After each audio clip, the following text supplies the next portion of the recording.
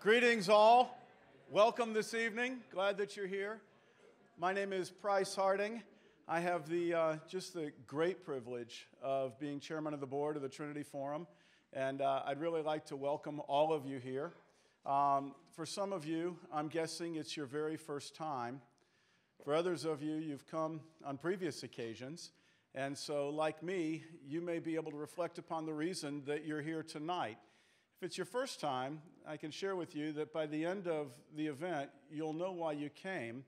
And uh, if you've come before, I'll just share with you why I'm here tonight. So, most of you are likely from around the Washington, D.C. area. I'm not. I'm here quite a bit, but I live in Atlanta, Georgia. And when you get out of the, wor- out of the world of D.C., you realize that you begin to believe that a lot of what feels really crazy about your world seems to, in many instances, emanate from here. and so, on occasion, I like to come and just participate in, in kind of with wonderment about how it all occurs and what's happening. The thing I love most about the Trinity Forum, though, having now been involved with it for nearly a decade, is the fact that at these events, I get to hear thinking, I get to hear ideas, I get to hear really a conversation that is in some ways discordant with the rest of the culture, where everything else can seem to be a little crazy and on occasion border on, I'd rather not be quoted, but insanity. Um, I find that when I come here, I find sanity and I find clarity and I find speakers who draw me closer to an understanding of what I believe I was created to be and how I believe I was created to think. And it's with that that I welcome you into a conversation this evening.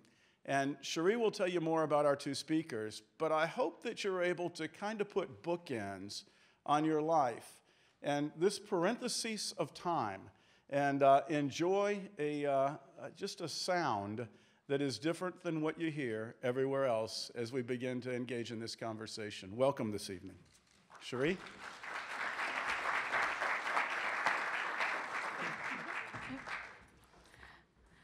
Well, thank you, Price, for that very thoughtful introduction. Welcome to each and all of you for tonight's evening conversation on To Love Our Neighbor Faith and Flourishing in a World of Need. Uh, we're delighted that so many of you came out on a very cold and chilly night. As you can tell, we have a very full house and actually had to shut down registration at one point. But if you had friends who wanted to be here tonight and could not make it, fear not. Uh, we are both recording and live streaming tonight's evening conversation. Uh, so feel free to tune in on our YouTube channel at the Trinity Forum. You can watch along. We'll also be posting pictures on Facebook and live tweeting as well, so you can follow along on Twitter. Uh, this event is actually the final evening conversation in a five part series on faith and international development that we've been delighted to undertake through a generous grant through the New Venture Fund and the Bill and Melinda Gates Foundation. And we had fairly ambitious hopes for this series, and I think we've been able to reach some of them. We wanted to take a broad, sweeping look at some of the issues, the questions, the challenges, and constraints of how faith and international development and aid all relate uh, and build on each other. So we were delighted to kick off this series with Mike Gerson and World Relief President Stephan Bauman, who looked at thinking faithfully about international development and the unique contributions that faith based efforts could bring to foreign aid and international development. We were then pleased to uh, welcome Ambassador Mark Lagon, who is also here tonight, and Professor Catherine Marshall to speak on faith, dignity, and empowerment. What a faith based idea of dignity grounded in the Imago Dei had to say about how we understand those not like us and what our obligations to them are. We were thrilled to hear from World Bank President Jim Kim, along with former member of Congress and UN Ambassador uh, for Hunger, uh, Tony Hall, to speak about mercy, justice, and holistic poverty alleviation. We heard from Hope from Healing Hands Executive Director Jenny Dyer about hope, healing, and peacemaking and the role of faith in advancing global health. And tonight, this is the capstone to that series. So we are so delighted to welcome our speakers tonight. I also, in addition to wanting to just welcome each and every one of you, want to acknowledge just a few special guests. We're delighted to have our chairman of the board, Price Harding, in, from Atlanta, uh, as well as trustee Richard Miles, who's joined us tonight as well, and also delighted that our con- lead convener of our Atlanta initiative, David Allman, has joined us for this evening. So thank you. If this is your first Trinity Forum event, a special thank you uh, for coming, and especially on such a cold night. For those of you who are new to Trinity Forum Evening Conversations, we work to provide a space and resources for leaders to engage life's greatest questions in the context of faith. And towards that end, we host programs such as the one tonight to connect leading thinkers with thinking leaders in wrestling with those big questions of life and ultimately coming to better know the author of the answers. Over 2,000 years ago, Jesus synthesized and summed up the entirety of religious law as the, as the command to love God with all of what you are and to love your neighbor as yourself. And certainly, one of the great questions of life concerns what that means, theologically and spiritually, as well as practically and even politically. Wrestling with the question, who is my neighbor, will have challenging implications, particularly at a time of rising tribalism and isolationism. So, how do we understand the biblical injunction to love one's neighbor and care for the needy, even as resources seem limited and needs limitless? How do we weigh the urgent and pressing claims of emergency relief with a longer term need for development and empowerment? What forms of care and aid are most conducive to flourishing? None of these are easy questions, nor are there easy answers. But we can promise that few have wrestled with these questions with the insight, the real world experience, the wisdom, or the vision of our speakers tonight, Rich Stearns and Peter Greer. Rich Stearns is the president of World Vision USA an extraordinary NGO which helps educate, shelter, vaccinate, care for, and uplift more than 4 million children in nearly 100 countries. Since their creation 65 years ago, World Vision has sought to help and enable people to escape poverty and injustice through their provision of emergency relief, the disbursement of microloans to catalyze neighborhood enterprises, the cultivation of clean water access, improved sanitation and basic, basic health services, and other forms of aid. With a staff of over 44,000 around the world and annual aid disbursements of over a billion dollars, World Vision actually provides more foreign aid than many, if not most, European nations, and serves as a vital international force for peace building and the conditions vital to flourishing. Before Rich became the president of World Vision, he had various roles with a number of Fortune 500 companies, including Parker Brothers Games, where he served as president, and Lenox China, where he began as division president and ultimately went on to become named president and CEO. He's authored several books, including A Hole in the Gospel, which was named Christian Book of the Year in 2010, his work Unfinished, he Walks Among Us, which he co authored with his wife Renee, who has also joined us this evening. He has his bachelor's degree in neurobiology from Cornell and his MBA from Wharton. After Rich gives brief keynote remarks, he'll be followed by his co keynoter, Peter Greer, who's the president and CEO of Hope International, another extraordinary NGO, 20 years old, which started by providing a dozen microloans in the Ukraine and has since wildly expanded its reach and serves more than a dozen countries where it provides training, housing, and small loans to equip and empower its nearly 1 million clients to rise out of poverty. Peter previously worked as a microfinance advisor in both Cambodia and Zimbabwe and served as the managing director of Urwego Bank in Rwanda. He has written or co authored numerous books, including The Poor Will Be Glad, the Spiritual Danger of Doing Good, Mission Drift, which was selected as a 2015 Book Award winner from Christianity Today, Entrepreneurship for Human Flourishing, Watching Seeds Grow, Created to Flourish, and The Board and the CEO. He is a graduate of Messiah College and Harvard's Kennedy School of Government, and he serves as entrepreneur in residence at Messiah College, as well as a Praxis venture partner. After Pete and Rich's brief remarks, they will join me up here on stage. We will have a brief moderated discussion, and then we'll turn it over to you, the audience, for questions and answers. Rich, welcome.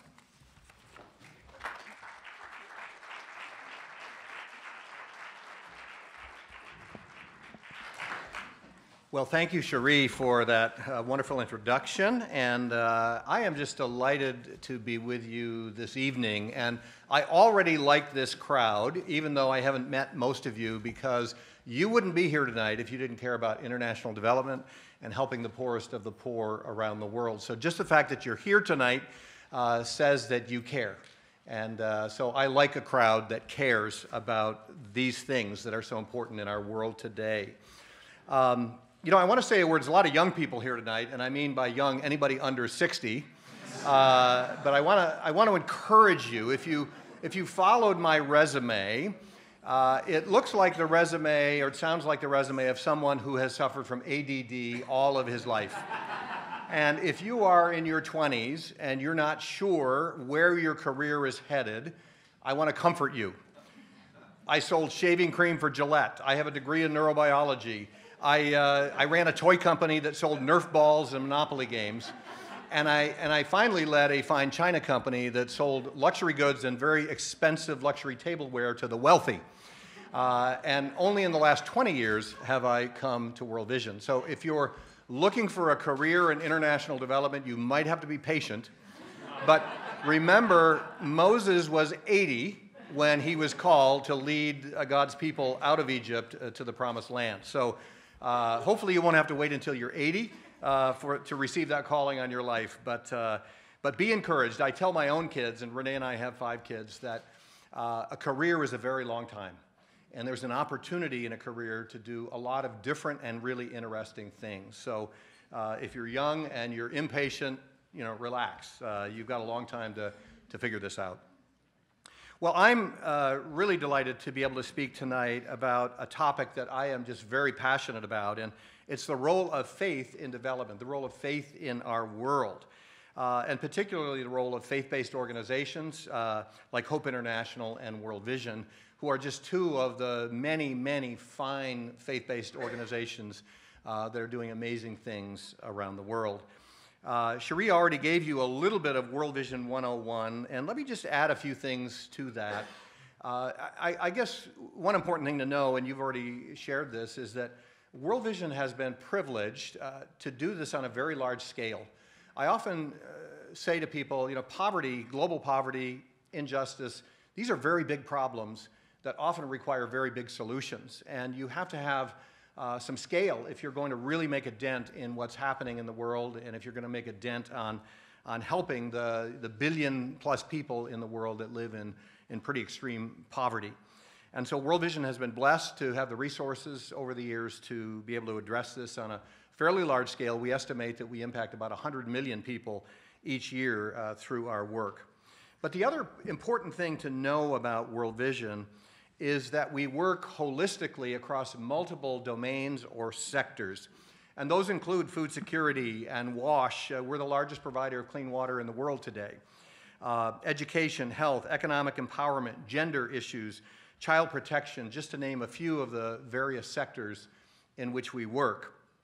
Now, we do this, uh, we, beco- we have become this jack of all trades because we've learned that there is never a single cause to poverty. Poverty has many causes. In fact, I often describe uh, poverty as an ecosystem. Uh, the poor live in an ecosystem that entraps them.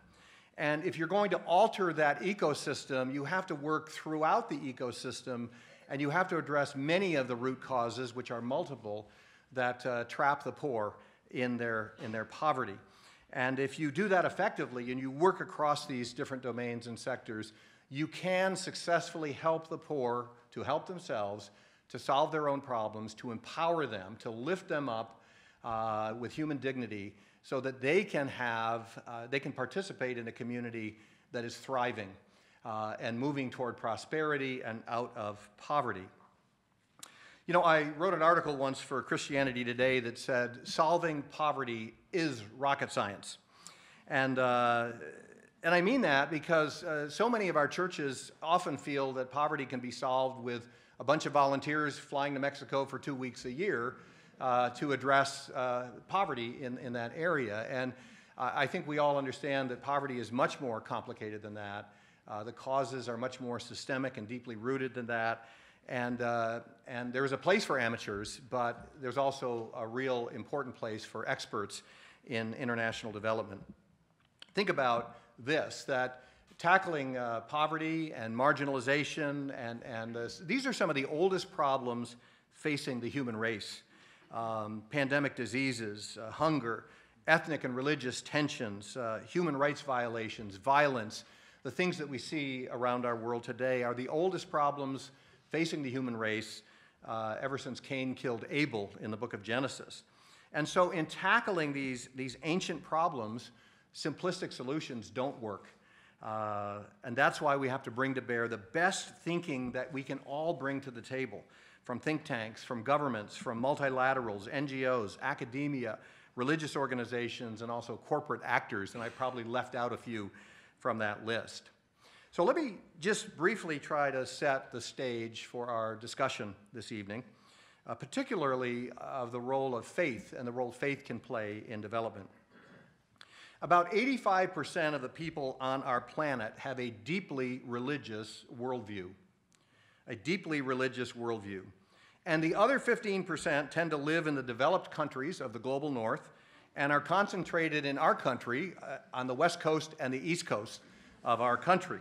And everybody else in the world has a deeply, uh, profoundly deep uh, religious worldview. So here is the challenge that that poses. Um, but it's also an opportunity in international development. The challenge is that those who hold a profoundly secular worldview have a difficult time understanding and communicating with those who have a profoundly religious worldview. It's kind of a clash of cultures when you think about it. Poverty is not just a lack of material things. If it were, we could fix it pretty quickly. You see, drilling a well or vaccinating a child or building a school are useful interventions, uh, but they do little to change a community at the level of values and behavior. And you see, poverty is shaped and caused by cultural practices, belief systems, and community values. The hard work of lifting communities out of poverty and toward a future of prosperity always requires that communities change their behaviors, and behavior change is driven by community norms and values which are deeply rooted in worldview. Worldview, how communities think of themselves in the world, their agency before God, who are they before God? Now, in most communities, it's often the religious leaders who define cultural norms and they perpetuate the value systems who hold, and, and they're the people that hold the moral authority in those communities and, and the people that community members look to for leadership and for uh, making the right decisions and, and governing behavior in the community. In other words, the religious leaders are often the gatekeepers of community values in our world. So that's why it's so vital in international development contexts to work with and through religious leaders and institutions. But you see, doing so requires the ability to speak from the framework of a religious worldview. People are often surprised that world vision can work effectively in Buddhist, Hindu, or Muslim context. But you see, that's because we understand the religious worldview. In other words, we get them and they get us as a people. One imam, one imam once said to one of our staff, We respect world vision because you are people of the book just as we are people of the book. He was saying that we understand your worldview because it's based on your relationship with God and what the Holy Scriptures say about the nature and character of God, which is also true of our religion. Now, there are cynics out there, maybe a few in this room, that would say many of the problems in our world are caused by religion or perhaps the abuse of religion, and there is some truth to that allegation. But I also believe that the answer to a religiously caused problem is often a religiously based solution. So if there's a problem being caused by religious leaders, it might have a religiously based solution as well. And I want to give you an example of this. In the early days of the AIDS pandemic in Africa, Christian pastors and priests were excommunicating people with AIDS. And even their widows and orphans were being excommunicated from churches because these pastors believed that it was God's judgment on their sinful behavior. So, World Vision created a program back in 2001 called Channels of Hope. And we took church leaders through a three day immersion course in the biblical response to HIV and AIDS. What does Scripture say about how we as Christian people should respond uh, to the HIV AIDS pandemic, the people who are infected, and the widows and orphans who are left behind? And we emphasized in that program that God calls his church to care for widows and orphans in their distress, a, a quote from the book of James. And that God calls us to be people of forgiveness and reconciliation and healing. Uh, and we're not to judge others, we're to help and welcome others, to love our neighbors as ourselves, especially when those people are in need and in desperate need of help. We then showed these pastors how they could preach about the importance of sexual fidelity and faithfulness in marriage, which would serve to reduce the spread of AIDS in their country and in their community.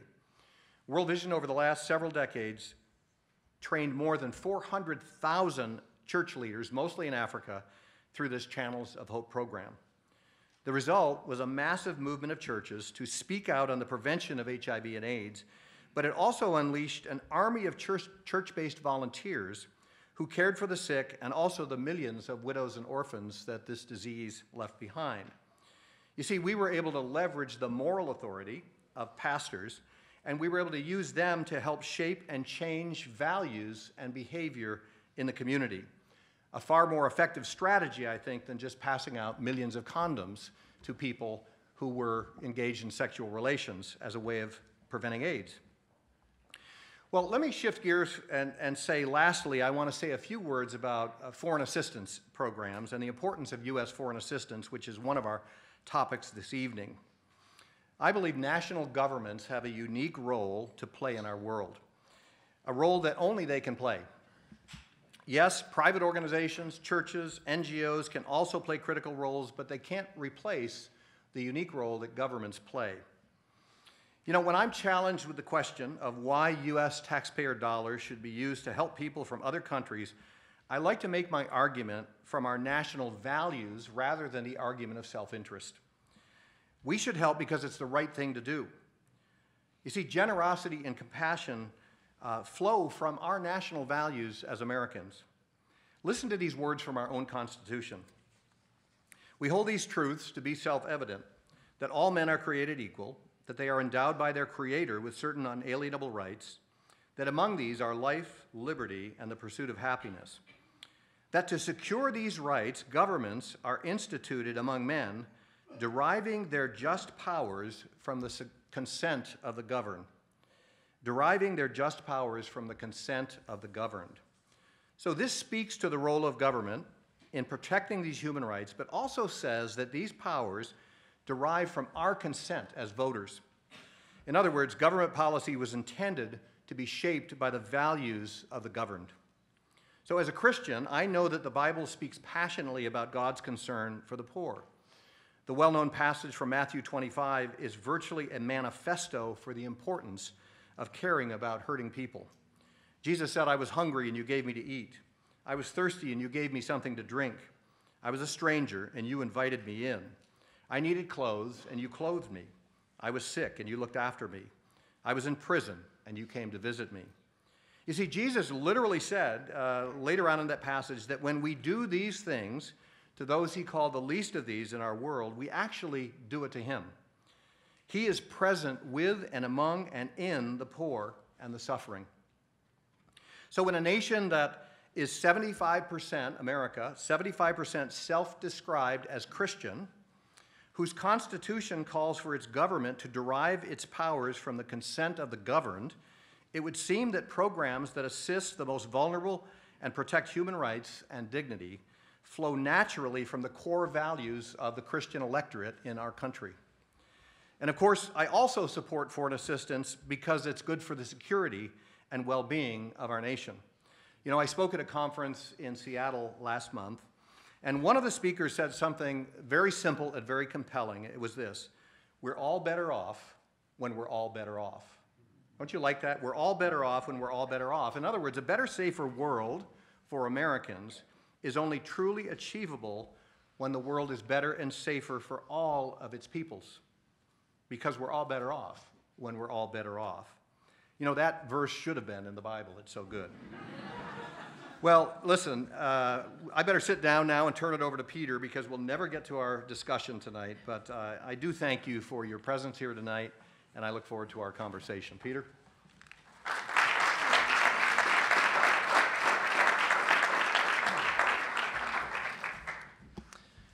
When I arrived today, uh, Cherie asked me if I knew Rich from way back. And uh, my first thought was absolutely. I have been in the way back of so many rooms. I have been in the way back of Urbana. And to share a stage with Rich Stearns is awesome. This is amazing. So thank you, Rich, for those remarks. And thank you for the Trinity Forum for organizing this. The Trinity Forum is uh, I had my first experience with the Trinity Forum when I was uh, shortly after joining Hope. And I was excited to learn and to engage in the conversation. The thing that I have most benefited from, though, is not the content, but the friendships. The friendships that have started in this, part of a young leaders network that continue today and are some of my closest friends. And I believe life is just better when it's lived with friends. And I know many of you in this room would say something similar. This is not just a group of people that are coming together to engage in a discussion, this is a group of friends. And I love that, that we get to be here. So thank you for the invitation. Thank you to all of you for being friends in this conversation. Now, when I originally uh, heard about international development, I was studying in Russia. And I was having lunch with an individual, and I was studying international business. I grew up as a pastor's kid. Faith was always very important to me, but I was really excited about international development, not necessarily because it was a way to help the poor, but it was a way to travel. And I thought that sounded really exciting. And so I jumped in, and my faith was always, I would say, important to me. But as I heard about this tool of microenterprise development, there was something about the adventure. There was something about the excitement. There was something about the idea of traveling around the world and helping individuals to start small businesses that captivated my heart. So I started in, in Cambodia. I, I lived in Rwanda for three years. I served in Zimbabwe. And I would say faith was always a part of my motivation. I remember growing up and actually having the ability to, to have these eyes open to the fact that if you open your Bible, it is impossible to read it without seeing that we are to have a preferential treatment for those in need. It is impossible to miss. Over 400 times in Scripture, it talks about these, uh, the quartet of the vulnerable.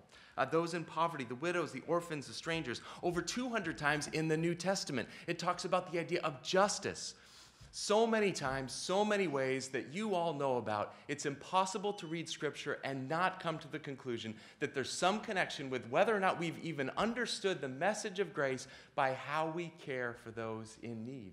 And so that was part of my story, it was part of, of my understanding.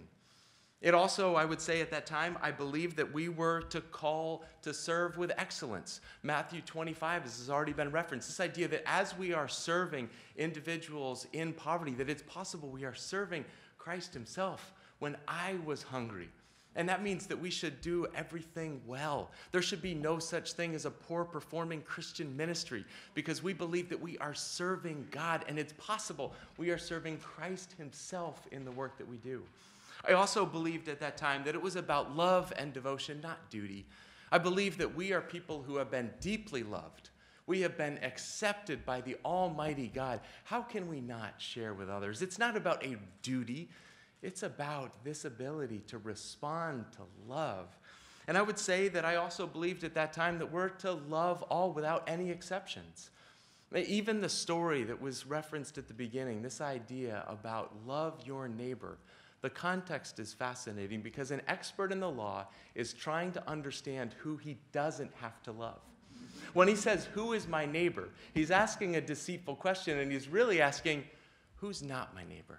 Who are the people that are in the circle? Do I have to love the people that are close to me or do I have to love people far away? Do I have to love people that kind of dress the same or do I have to love people that are completely different? And the story about the person in need. The only thing we know, we, the person didn't even have clothes. There's no way to identify who the person is in need. And the message is anyone in need. That is our neighbor, and that is the invitation that we have to show up and serve. Now, all of those things, I would say I believed. All of those things I still believe. I believe all of those are true. We're to love, not out of duty, but out of devotion. We're to serve all. We have an opportunity to serve with excellence. All of those things, because of our faith, they change the way that we respond. But over the last 20 years that I've been doing this international development, I've come to realize that it's not just the motivation, but it actually changes the way that we do this work. And I would say, as a follower of Jesus, it was always my motivation, but today I say it's not just my motivation, it changes the way that I approach international development. And so I just want to share today three thoughts, three ways that my faith changes the work that I do. Not just is the motivation for the work that I do, but it fundamentally changes the way that I do my work. And it really started in 1999.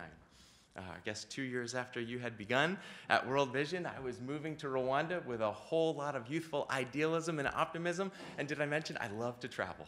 And here I was living in Rwanda, and I'd heard about Muhammad Yunus, and I'd heard about this tool of microfinance, and I love the idea of it. I love the idea about preserving the dignity of those people that we serve. And I love the idea about having people have a job instead of just needing another handout. And so I started this, this microfinance uh, work. It was only uh, four, five, four years after the, gen- five years after the genocide. And it was a time where a nation was, was starting to recover. And one of the individuals that I ended up helping, his name was Florian. And he was one of the first people that I ended up helping in this tool of microenterprise development. We gave him a loan, there was training, and he started to have this business. And his was a gardening business, and I was one of his customers as well. And so he would come, and I would uh, receive the services, and, and he would come, and I got to know him and had this friendship. And on one occasion, I ended up driving him back to his home. And I was so excited to see his home because here's this business that's starting to grow.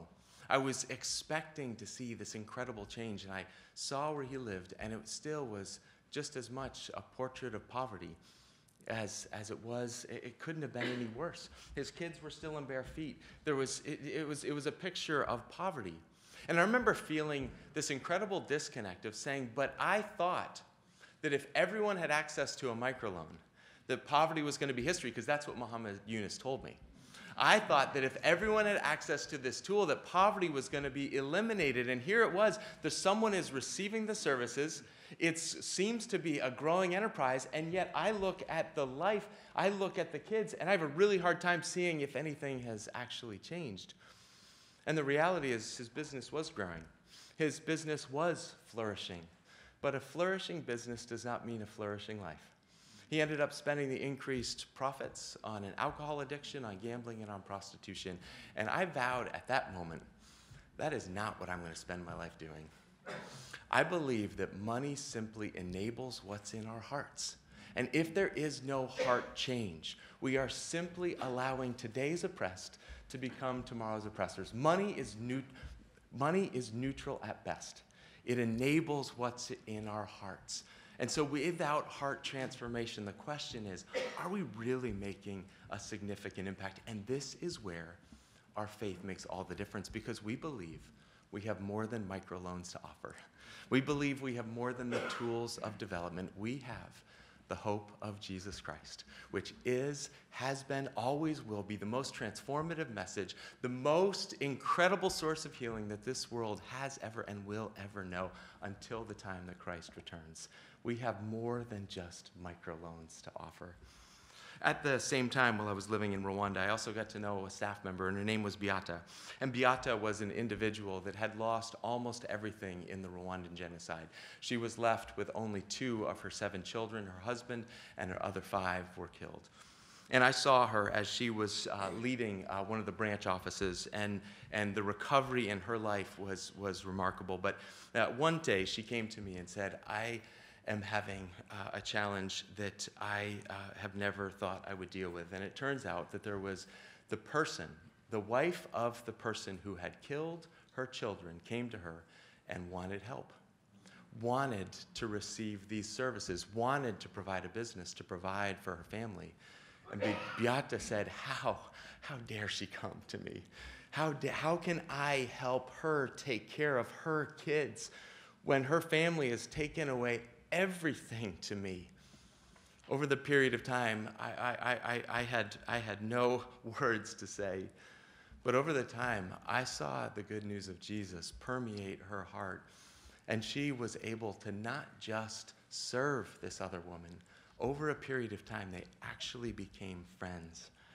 I think that is impossible. I think healing, I think reconciliation, I think that sort of miracle is absolutely impossible without someone actually receiving that type of love and forgiveness first. And it was beautiful. And so when I think about the challenges of the world, when I think about all that we have that is broken, I can't imagine leaving my faith behind. It is the source of healing, it is the source of strength. It is good news to those in need. And so, what does that mean if we believe that? If we actually believe that it's not just our good works, if it's not just our good deeds, but we have more to offer, then how does that translate into the programs, into the work that we do in international development? And, and again, three simple thoughts. The first is that we see whole people, we don't just do projects. We do it from a lens of seeing people as individuals created in the image of God. And as C.S. Lewis said, we've never met a mere mortal. We are looking at the divine, and that changes everything. This past week, it has changed the way that I respond to comments talking about some of my friends in Haiti and Africa.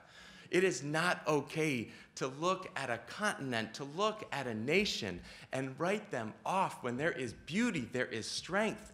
I don't look at those nations as something far away. I look at them as full of my friends and where the church is on the move. And when you discredit a nation, you discredit the God who made every single one of those people living in that nation. These are our friends, these are our colleagues, and you spend time with individuals, not doing projects, but getting to know them, and you will respect them in Rwanda a couple months ago. I was with Severa, and Severa was an individual that started a business. She is a true entrepreneur. If she was born in the United States, she, you would know her name. She would have all kinds of industries. She employs 50 people in her community, and she has taken in eight orphans. And as my wife and I have thought about how do we open our home, Severa is not just a person in Rwanda. She is a mentor, she is a friend, and she is someone who embodies a bold and courageous faith that I want to have. I don't just look at individuals around the world and do projects. I see beautiful, powerful, competent, capable, dignified people created in the image of God. And that changes how we talk about them, it changes how we do the projects. Second, I believe that this idea of faith informing not just our motivation, but the very work that we do, it allows us to focus on the kingdom and not our little clan. When I joined Hope, if I am honest, and I would be at an event like this and I would hear great words from, from other organizations, I would have something in me say, oh man, they just did such a good job, and I'm going to sound like a juvenile little kid when I get up there. and the reality is, I would feel the sense of jealousy. I would feel a sense of envy when I would see some of my friends featured on all kinds of different things. I had a couple friends that were featured on Oprah. Oprah! Like, that is the best. They were on Oprah, and we were just together at a Trinity Forum event, and then they're on Oprah. It's incredible. And the reality, though, is I believe that when we focus on our faith, we realize that those of us in this room, we're not little warring clans. We're the same family. We're the same family. And if there is a foe, it's certainly not other organizations that are doing this good work. It is, it is, the, it is the, the spiritual realm that we are waging against. It is poverty. It is injustice. It is all of these problems. Can't we please find a level of unity because we're in the same family, we are on the same team? And that means when someone else is experiencing incredible growth, we should be the first ones to stand up and say, Way to go. And Rich, as you have announced your retirement, way to go. It has been incredible to watch what God has done through 20 years of faithful service. And may we all live and serve as faithfully as you have set the example for us. We are part of the same family.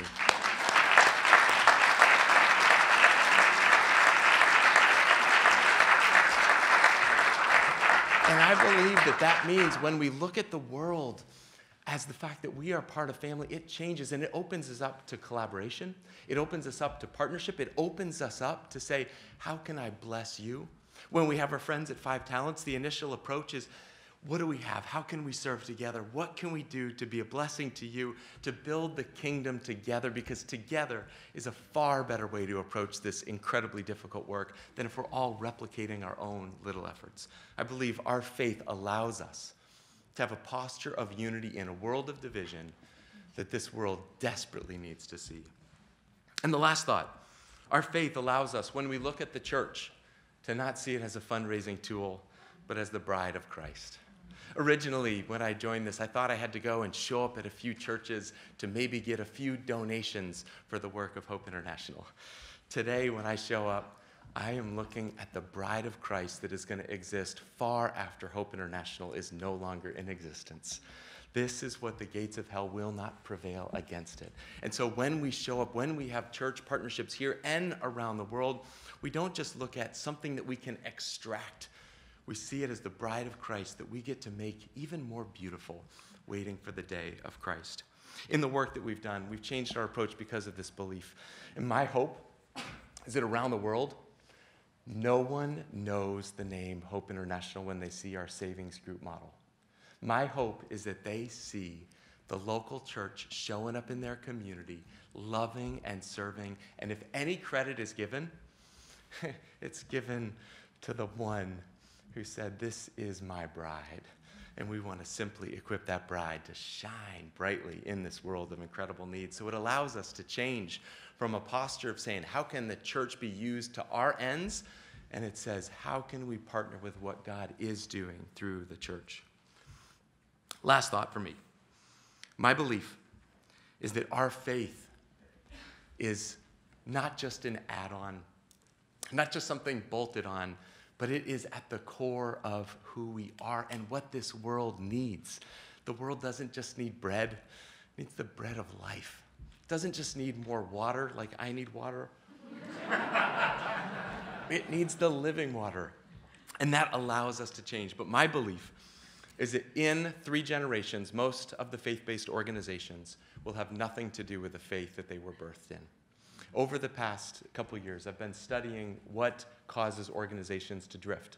What causes the passions of the first generation to become the preferences of the second generation and become irrelevant to the third generation? This is the historical precedent.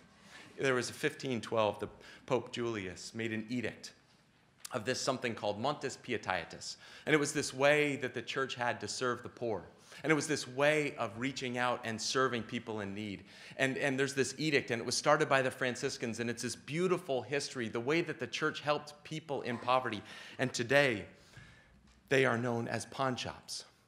Pawn shops were started as a way for the church to help people in poverty. It is possible over time for us to forget the vibrancy, the core of who we are. And so, my hope is that in this work, in this conversation, we'd be people that spur one another on to love and good deeds, and that we wouldn't forget that our faith matters in this work. It matters deeply. It is what the world needs. And because of that, my prayer is that we'll be people who reject any attempt to bifurcate our model who refuse to say that our faith will only be confined to the halls of worship and not to the streets of practice. That we will be people who stay true to the mission that we've been given. And to do that, remember that there is one day where the ultimate development projects are completed. The day where Jesus himself will wipe every tear from their eyes, where there will be no more death, no more crying, no more pain, no more poverty, no more injustice, for the old order of things has passed away. And so until that day, may we learn to love and serve with all that we have, and may we never forget that our faith matters.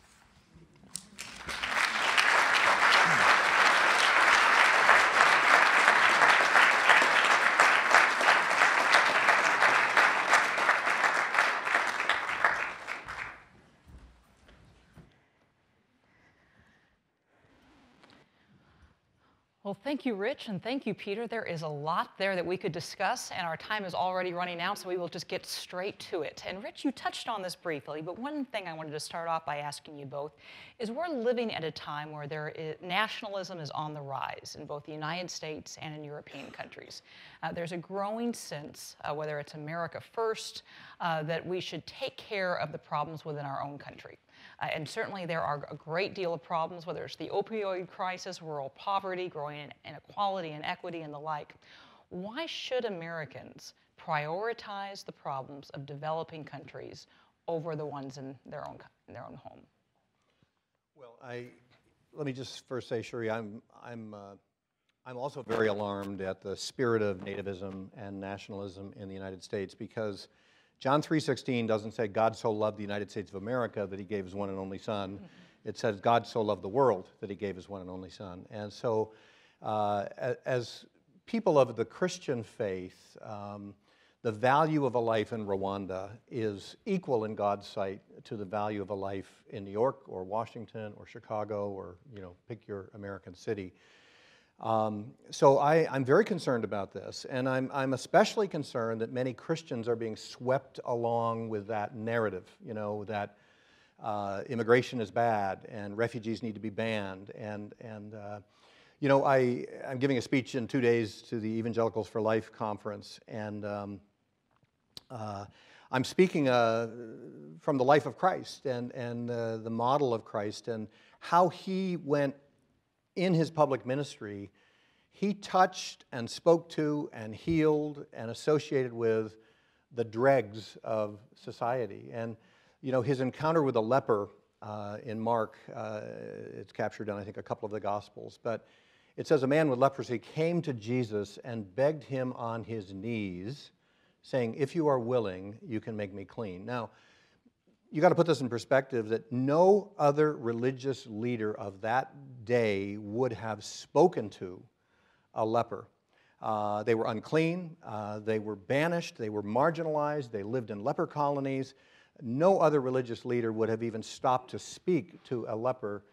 But it says, uh, Jesus, filled with compassion, reached out and touched the man. And he said, I am willing, be clean. So not only did he speak to the leper and acknowledge his humanity. He touched him. He broke Jewish law. He touched this unclean man. And he said, I am willing, uh, be clean. And, and I, I love that phrase, filled with compassion. It didn't say he was filled with fear. Are we filled with fear about refugees? It didn't say he was filled with judgment. Are we filled with judgment about undocumented immigrants? It didn't say he was filled with anger are we angry uh, at the poor who might be on welfare or the homeless in our streets in our country? It said he was filled with compassion and he reached out and touched the man. And so I'm very concerned to the extent that this attitude of closing ourselves off to the world uh, infects the church. Uh, I don't like it infecting our country, and I especially don't like it infecting our church because I believe what I said we're all better off when we're all better off. And uh, we have, uh, you know, Ronald Reagan called America the shining city on a hill, which was a scriptural reference. We have the opportunity to be that shining city on a hill, but to be that shining city on the hill for the world, the principles of freedom and democracy and, and freedom of the press and freedom of worship, those values, we have to let our light shine. We, we cannot hide our light under a basket or behind a wall. Anything to add, Peter?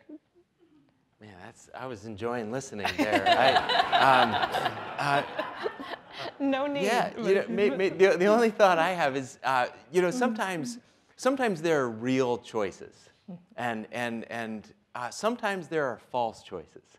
And I think you uh, presented a false choice. Uh, do we have to love our communities? Do we have to care about the opioid crisis? Yes. Do we have to care about other things? Yes, you don't have to choose. And I really think that's why Jesus told the story and really exposed the expert in the law who was trying to ask a similar question. Do we have to love people that are in my tribe, or do I have to care about people that are outside? And, and, and part of that story, too, is and, and, and love your neighbor as yourself. Real simple. I, I like to picture when I see images of individuals, I like to imagine these are my family members. I, I, I, I find that it allows greater compassion. How would I respond if my kids were in this situation? There would not be apathy, there would not be a timid response. I would do anything possible to care. And, and so I think we have the opportunity to reject a false dichotomy, reject a false choice, and imagine how would you want someone to respond if that's your family in that situation? A couple years ago, there was a book published called Toxic Charity by Bob Lupton, which caused a stir in some circles and certainly a fair number of churches, in which he argued that many of the ways that churches um, and faith based organizations show compassion may actually do more harm than good. And he pointed at short term missions trips and the like, which, in some ways, because of their short term nature, uh, could inculcate a sense of dependence that couldn't be sustained. Given your perspectives, what are the best things, most effective means of charity and compassion that individuals and small groups can do to alleviate suffering and promote flourishing? Yeah, you know, it, it's, it's, really interesting because there was a period of time uh, where so many individuals had gone on short trips, short-term trips, and there was this incredible amount of aid that was going around the world. And I believe that we are kind of people of a pendulum. And so the pendulum swung to the other side of saying, when helping hurts, right? Steve Corbett and Brian Fikkert. Uh, and then Toxic Charity, Bob Lupton. And, and, and in some ways, I think that was a wonderful, wonderful time. It's what the church needed to hear that not all good intentions have good results. My concern of that is that it also can lead us to believe that everything is broken and it can actually lead to a position of almost paralysis of saying, well, if everything that I try to do has these unintended consequences, I'm going to check out, I'm going to stop trying to care. And I think we need a sequel. I think we need a sequel to When Helping Hurts, which is When Helping Helps. And let's shine all of the spotlight on the good things. And instead of toxic charity, awesome charity. Like, let's figure out the converse of these stories and let's celebrate the good work. And just personally, I, I, there's so many good things, and, and, and, and uh, World Vision is doing so many, many, many, many good things. The, the world that I look and what I have committed kind of my career to is, is this idea that there's, there, there's too little response focused on economic development and job creation. And, and so there's this stat from uh, Duke University that talks about how churches in the US respond to poverty. And the most common ways are food and shelter and housing, and those are good things. The least common way that the church in the United States responds to the issue of poverty is job creation. And I kind of think we got that order maybe a little bit out. Maybe we should elevate that a little bit more because if there is a good job, if there is employment, if we do look at the world as people with capacity and dignity, then maybe some of those other issues are not going to quite be so severe. Yeah. I might just, you know, add to what Peter said is, uh, uh, you know, I said in my remarks that um, uh, sometimes, and I'm stereotyping, you know, some church programs, we kind of feel like we can solve the most complex issues facing the human race by taking two weeks of vacation in Tijuana, you know, and uh, painting a house, digging a ditch. And uh, in fact, I, in my book, I asked the question, how would you feel about Bill Gates if he had decided uh, almost 20 years ago when he started the Gates Foundation that, hey, uh, I know what I'm going to do. Uh, there's poverty in the world, and I care about poverty. I'm going to go to Tijuana, Mexico, once a year for a week, and my time is very valuable. A week of my time is very valuable, and I'm going to paint houses and dig ditches and build latrines, and I will have done my bit to help the poor.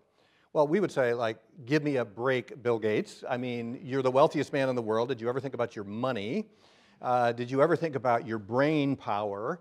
And did you ever think about the incredible giftedness and gifted position you are in, in, in the world, the relationships you have, the connections you have?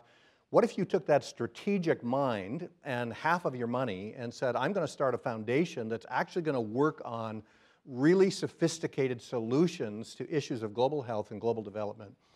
Well, that's more like it, Bill Gates, you know. Uh, and, uh, and yet we still have this sense, and, and I, I, I, really appreciate the, the enthusiasm of wanting to volunteer, wanting to go, wanting to do something.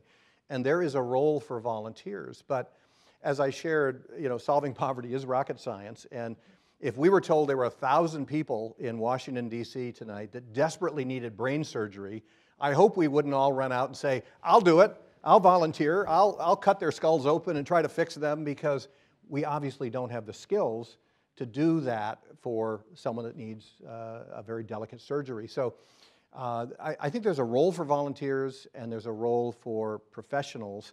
And if your church is large enough, I would encourage you to hire a development expert or two uh, in your missions department so that you can really understand at the root level what are the causes of, of the poverty in the communities we want to serve. And, and, and the other thing I would say, and, and I'm sure you'll, you'll agree with this, Peter, that uh, there's no quick fix to systemic poverty. This, this is a long-term walk and journey with a community. And World Vision typically works uh, on average 15 years in a community.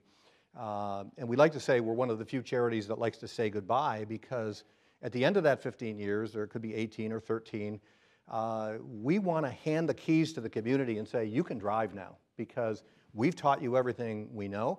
You know how to do this yourself now because you're the leaders of your community. Your community is filled with God given potential and creativity and innovation and ideas and hard work.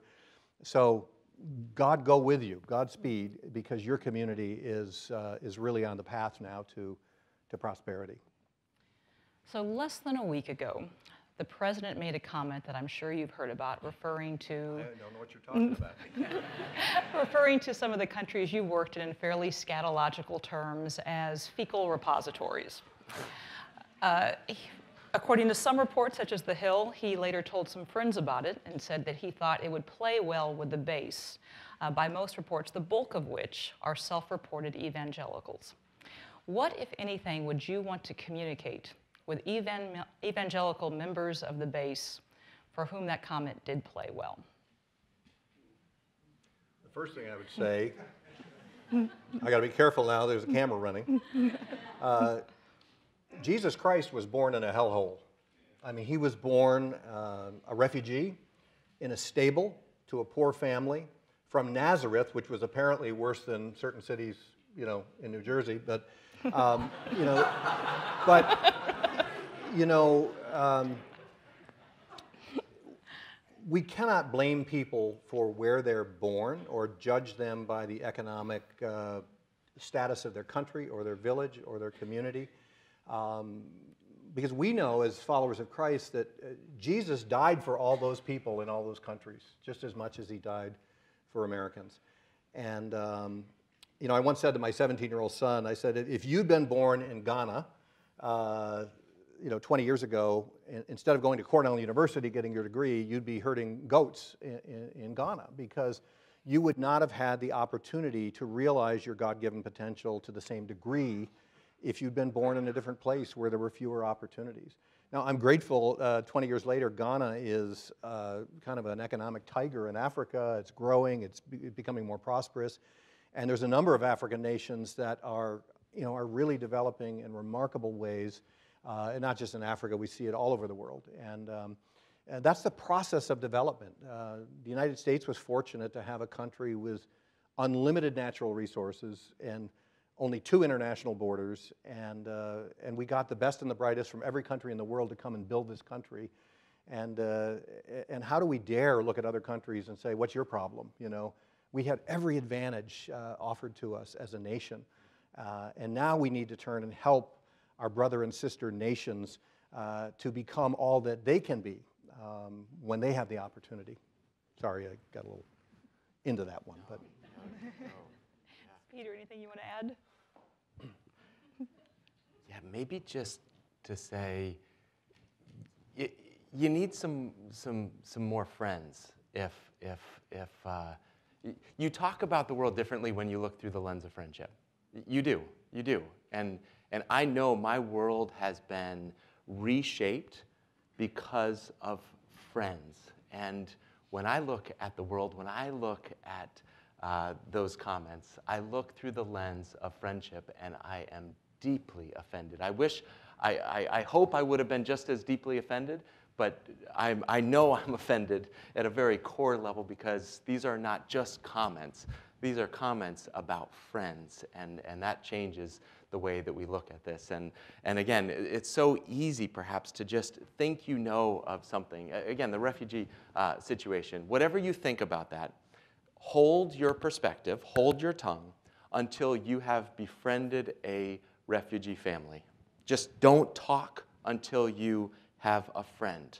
Um, if you want to make comments about another nation, don't make comments until you have a friend, a true friend. Uh, our family, uh, Lancaster, Pennsylvania, where I live, uh, receives more refugees per capita, I was just told, than any other city. That's pretty awesome. Way to go, Lancaster. And, uh, and, and so my wife and I jumped in, uh, and Marwa in Emad. And initially, we thought this would be a great opportunity for us to learn a little and to help. Uh, they opened up their home to us. They have given us the most amazing meals. We've been using Google Translate, trying to like have conversations. Our lives are better. Our kids' lives are better. And so if you find yourself wanting to write off a continent or a country, just stop talking and have dinner and establish friendships because it will change the way that you talk. So we could go. We could definitely go on with this, but we want to turn this over to usually the most dynamic part of the evening, which is questions from the audience. So those of you who have been to a Trinity Forum event before know that we have three rules when it comes to audience Q&A. We simply ask that all questions be brief, all questions be civil, and all questions be in the form of a question. Uh, yes. So uh, wait until you're called on and you actually, uh, a microphone is in your hand before asking, and questions from the audience right here. Microphone's on the way. So my question is, um, there's development, and then there's faith and Christians in development. Um, it was referenced to the gradual departure from this Christ centered Christian start of many, if not most, Christian based started motivated NGOs or PVOs. Can you please speak to how your respective organizations have maintained that faith focus in an environment that is growing continually adversarial to Christians in general? And being a former uh, employee of World Vision, Rich, particularly, I know I, my impression is you have fought and to maintain that Christ centered focus, particularly for such a large NGO as World Vision is. So I just think that would be uh, helpful to know and understand the stories you have to not um, letting go of the faith aspect, which often happens in so that more money can be raised or you know the organization can be grown. Well, Peter wrote a book on this, so I'll let him answer it in a second. But um, but it's a real challenge. And uh, if, if, anybody's ever had their extended family over for Thanksgiving, uh, you know how hard it is to keep even maybe a dozen people uh, civil with one another on the same page, agreeing philosophically about even what is on the table to eat. Uh, I know in our own family we've got a vegan, a vegetarian, uh, you know, so if we serve turkey, we've got to have, you know, tofurkey as well, and we've got to have everything. But uh, World Vision with roughly 45,000 people from 100 countries in every nation, tribe, and tongue, if you will, um, it, it's always a challenge to maintain a focused Christian identity and a focused sense of God within the organization in, in our mission, vision, and values. Um, and it's always a struggle. Someone once described World Vision as a bubbling cauldron of theological thought, you know, uh, an argument. And uh, that's one of the things that's wonderful about World Vision. We're constantly debating these things. But, um, but I would say that uh, there's, there's just a few things that are really critically important. We have something called our core documents, which are kind of like our Constitution of the United States, which 200 and some years later, we're still looking to the Constitution to adjudicate issues in our country. Uh, for World Vision, it's our mission, vision, and values, and something called a covenant of partnership and our statement of faith. And these documents are like scripture for us. Uh, our mission statement talks about uh, you know, our mission is to follow Jesus Christ uh, in promoting human transformation, seeking justice, and bearing witness to the good news of the kingdom of God. It goes on to say, we will witness to Jesus Christ through life, word, deed, and sign that encourages people to respond to the gospel. And it says, we will partner with churches to promote spiritual and social transformation. All of those things are in our missional documents, and they're not up for negotiation. They, they are binding on all um, all World Vision employees and all World Vision project areas, just like the US Constitution is binding on all US citizens. Uh, so we have those things. But it, at the end of the day, uh, if you hire leaders who don't fully embrace uh, the role of their faith and their identity uh, in their work, um, you will lose this in a couple of generations. You will lose that Christian ethos and Christian commitment. And those documents that are so important will become just gathering dust on binders on shelves. And so it's the leaders of the organization that bring those documents to life. Uh, there's a passage, I think, in Deuteronomy 11 where Moses is imparting advice to the people of Israel, and he says, You know, talk about these things when you're standing up and when you're sitting down. Teach them to your children. You know, uh, tie them to the hems of your garments. Uh, post them on the walls, the doorposts of your homes.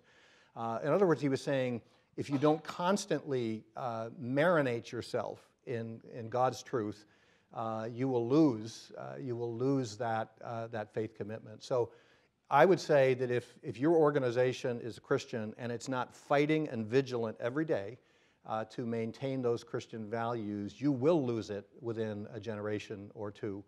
Uh, and often the board of directors are the last people to know that they've lost it. So, uh, anyways, those are a few thoughts. Yeah, yeah, no, and thanks for the question.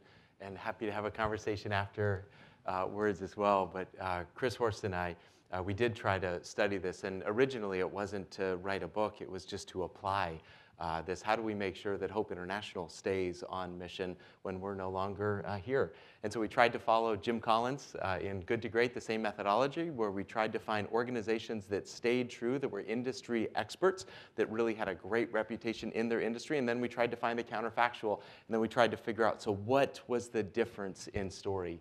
And uh, we were hoping that we would find one issue, that if you could just do this one thing, then you would prevent mission drift from happening. And we didn't find one, uh, and, and, and we found it's the accumulation of small and sometimes what feels like inconsequential decisions that, when compounded by time, lead to a very different place. And so, happy to go through uh, them, but just maybe really, really quick three. One is what do you measure for success? Most nonprofits look at size of budget, number of people that they serve as the primary definition of success. And if that is your definition of success, you will do anything possible to get more money and serve more people. And that's a good thing, but not at the expense of your mission. I was in Houston and had a foundation say, We love what you're doing with job creation. We don't love the Jesus so much. Um, downplay that, and then we can come and support you. And it was a seven figure check, not counting the decimal places. I normally count those. Um, and it was incredible where they, I definitely do. But for me, that was one of these like momentous uh, occasions where is growth the primary goal? Or is it mission fulfillment? So, how you measure success is number one. How you hire. Uh, and, and for us, uh, we serve everyone regardless of need we have a different stance of who we hire and even who we have as interns, because today's interns are going to be tomorrow's CEOs um, on that. HopeInternational.org internship deadline on Friday. Um, and so, and then the third uh, piece on that uh, that we are looking for is then also uh, how, how, how you create the culture. What are the patterns? What are the habits? And if you have staff prayer and no one shows up, that tells you something about the culture. Do you believe that prayer is, is not just something you do, but it's the core? We can't do this without God. So, how could we not prioritize that? So, lots more I'd be happy to share. Yeah.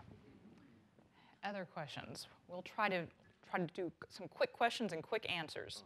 So, we'll do Mark and then over there. Up in the front row and then over there. Thanks. Uh, I have a question for Richard Stearns. You, you talked about how religious communities understand each other, even if they're of, of different faiths, and that they kind of get you, and that helps in programmatic work. Um, I wonder if you could speak to the importance of the faith based community and the secular community understanding one another, because if we're to kind of get it right about the role of government, of the private sector, of nonprofits, to try and bring about flourishing, it is going to require the faith based and the secular to work together. And it strikes me that some of the problems so close to us at home here uh, will require that as well. You know, there are uh, problems on both sides of that equation with the secular community and the faith community. First of all, the faith community doesn't, is suspicious of the secular community often. And, uh, you know, a couple of examples. Um, World Vision's been criticized for taking U.S. government grants. You know, why would you take, uh, you know, money from the U.S. government? And uh, we've been criticized for going to UN meetings and engaging with the United Nations. We've been, I was criticized for serving on President Obama's Faith-Based uh, Initiatives Council. And my answer to that was the President of the United States asked you to serve your country. The answer is yes. And whether you agree with him or not on everything, if he asks your opinion and your advice, the answer is yes, I'll be happy to give it. Uh, but that suspicion on the faith side of the community of things secular is one barrier. But then on the other side, um, there is suspicion on the secular side of the equation about are these faith-based organizations, what are they really doing? Are they, you know, are they just doing mass conversions? Are they creating rice Christians? You know, we'll feed you if you become a Christian. And some of the, maybe the abuses of the past that were probably real. Um, are, are you professional enough in what you're doing?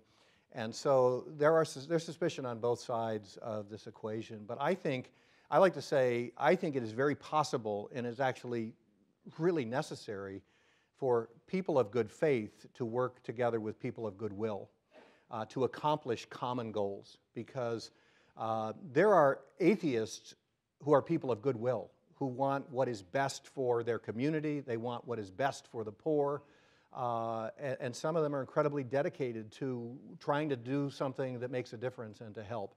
Uh, and I like to think that people of good faith can work with people of goodwill and vice versa if we can kind of celebrate where we agree and work together on those things and not let the places where we disagree uh, hinder our, our, our, ability to partner.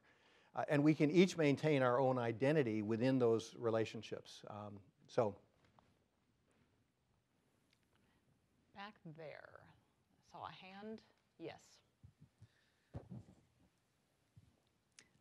I guess I'm wondering about people. Th- there's a caricature of people who um, maybe the conversation about Trump and the the conversation about countries in Haiti and Africa. But I wonder if the media is driving the conversation about those people in America who feel disenfranchised and they're being caricatured as people who are ignorant and don't care about anybody else in the world, but they really feel as though they have been disenfranchised. And how do people in America who are in those positions, who don't feel that they're being represented by the media accurately, they're not thinking that all refugees and all immigrants are horrible people, they truly care about other people but the media has driven the conversation and made them feel as though they are the villains. And are they? And how do we incorporate those people in America who are truly disenfranchised? Who wants to take a shot at that? well, I, I'll take a shot at it. You know, one of the things that um, I get to travel around the country quite a bit, and I speak in churches in the heartland and on the coast and in Texas and different places. And, uh, you know, the people in those churches are across a wide political uh, spectrum, but, you know, I've preached in very, very conservative churches. In fact, I, I preached at one in Lancaster County uh, in May. I snuck into your backyard and tried to church. peel off a few child sponsors. and uh, it's my home church. Yeah. But um, and I but the pastor said to me before I came, you know, he said, this is really a red county, you know, and it's uh, pretty conservative. And he'd asked me to speak about refugees. I go, well, thanks for inviting me into the lion's den, you know, speak about refugees um, in this political climate. But he, he said, just, you know, try not to get too political in your comments, keep it biblical. And, uh, uh, but what I find when I speak in a church in a red county is some of the most generous, loving, caring, giving people you could imagine. I, I, I find people sponsoring children who uh, really don't have enough money or income to do so, but out of the goodness of their heart, they want to help. They want to make a difference. They want to help these refugees, and they are being mischaracterized. And so uh, we do have to be able to see through the political veneers to look at the, the what's in people's hearts. And, and there are Democrats and Republicans that have bad hearts, and there are Democrats and Republicans that have really good hearts and care about people, whether they're American or not. And so I, I think you're right. I think there is a mischaracterization, and often the media will take the most extreme example on either side and put them in front of the camera, and, uh, and they do that in a way to discredit everyone on that side of the political spectrum uh, by embarrassing them with you know, the way they characterize. So I, I, think it's a problem, and it, and it also divides us so that it makes it hard for people of good faith and goodwill to work together uh, to solve problems because there's too much animus between uh, the two groups, and that's kind of happening in Congress and in our country right now, which is challenging. I wasn't going to say anything, but Lancaster was brought up. So I, I got to add just one thing on, on, on that. And, you know, I, I think that um, I take great comfort um, in, in the fact that uh, the church, when we're doing what we're supposed to, we, we will be, we should be uh, known for incredible compassion in action. It's, it's, it's not just what we do, it's who we are, um, received and give.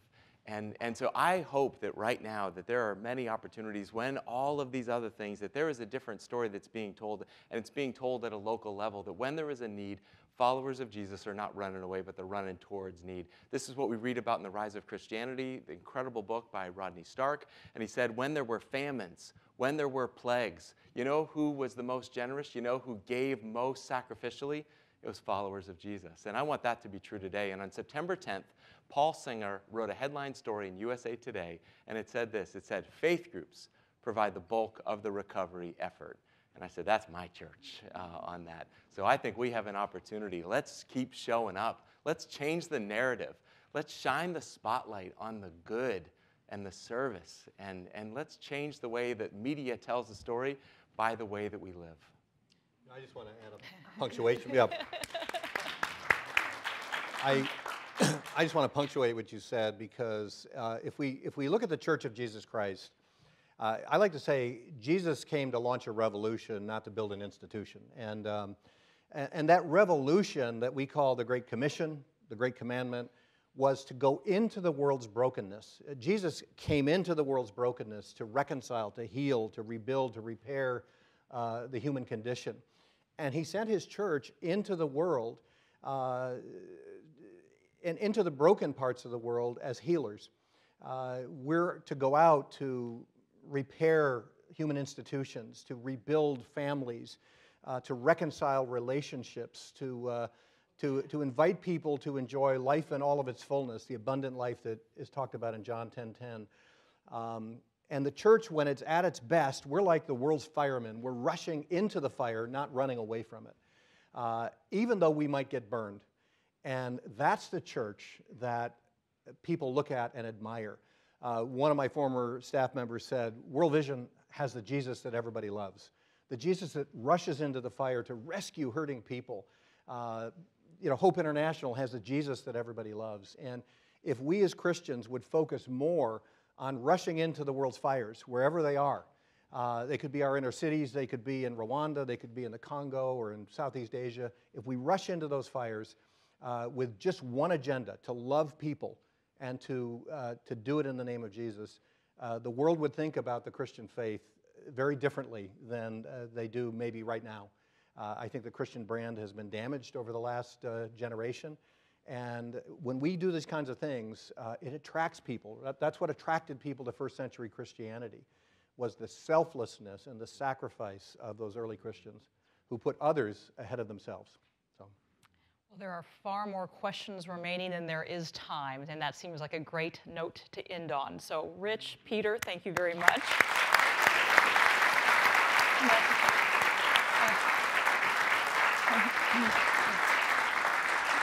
And Colleen, close us out. Wow, don't you always wish question and answer could go on forever? I really do. So, so much wisdom, so much encouragement. Thank you all. Thank you for Cherie. Uh, my name is Colleen Horrocks, and I'm the Director of Advancement and Development for the Trinity Forum. Uh, it was a great discussion between Richard and Peter, and of course, here at the Trinity Forum, we don't take sides at all. It's not a debate where there's winners and losers, but um, one thing you might not know is that I graduated from Messiah College with Peter Greer. Yeah. So I just want to say, go Falcons. You know. Good work, Peter. Um, of course, Peter did go on to earn his MPP at Harvard. And uh, Richard, I understand you went to Cornell and then, of course, to Wharton, which are also very, very good schools. so, so we're all winners here, but I'm just saying, go Falcons. Thanks very much. All right, so as the development director of the Trinity Forum, I'm actually here to report that we just closed out an amazing record setting 2017, made possible not just by our incredibly generous trustees, but and not even just by those who have sponsored events such as these over the past year, but by those of you who are in the audience tonight and those around the country who are Trinity Forum Society members. So we just want to say thank you.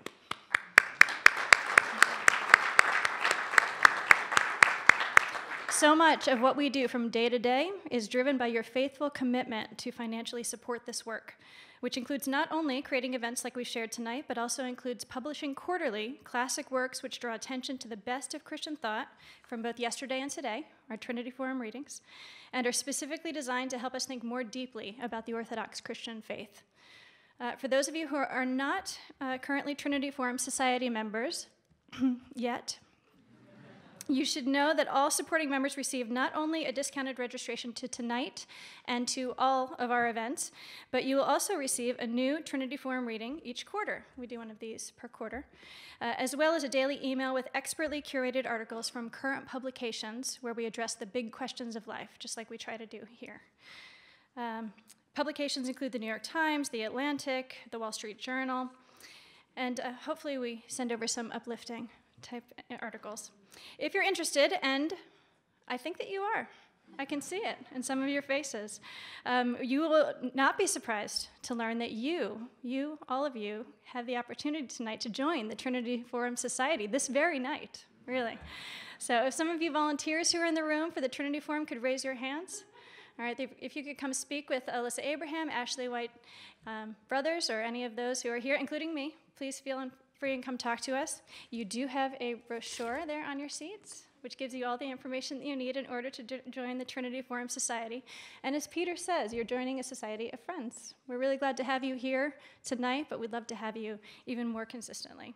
Um, also, if you loved this event and you would like to sponsor one such as this, please do talk to me. Our office number is 202 944 9881.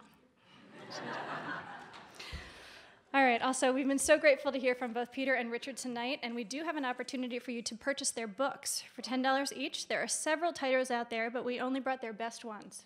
Okay? They're prolific writers, so we could only bring their best, really. Um, also, if you do join as a Trinity Forum Society member here tonight, are you sensing a theme? You will receive one each of each of their books of your choice, or you could just buy them all, because they're all very good. All right, so now finally, I will end with thanks. You're welcome. On behalf of Cherie and the entire Trinity Forum team, thank you both, Richard and Peter, for sharing your wisdom and your enthusiasm and your passion with us tonight. It's, it's uh, contagious. Uh, all of this has been made possible by the new venture fund with support from the Bill and Melinda Gates Foundation. We've been so grateful for that support and really for this entire series on faith and international development. We're sorry to see it go. We'd love to do more. And uh, thank you also to our priceless Trinity Forum trustees, especially those of you representing tonight, our chairman, Price Harding, and Richard Miles. Thanks so much to David, for coming down from Atlanta. Really appreciate that. And um, also to our faithful volunteers, to Hannah Wolf, Nicole Noyes, Abigail Carlson, Lexi Marone, and intern Caleb Luke, as well as our incredibly talented photo- photographer, Clay Blackburn. If you've seen Clay, he will also. Thanks very much. Please make sure that you uh, check out our Facebook page tomorrow. We'll be posting his amazing photographs, and you can tag yourself anytime you want. Uh, and also, thank you, Cherie, for curating and moderating, as always, such a lively and thought provoking discussion. And thank you to our Trinity Forum Society colleagues, uh, Membership and Events Director Alyssa Abraham, who literally makes all of this happen, and for Ashley White Brothers, who keeps us running from day to day. Thank you so much. And thank you, all of you, for joining us here tonight and as Trinity Forum Society members. But thank you for going forth, for contributing to the transformation of society by going now and tomorrow as friends and to Judea and Samaria and all the ends of the earth, to your homes and workplaces, and putting into action those concepts we've learned and discussed here tonight. We are grateful, we are with you, and most importantly, go Falcons. Good night.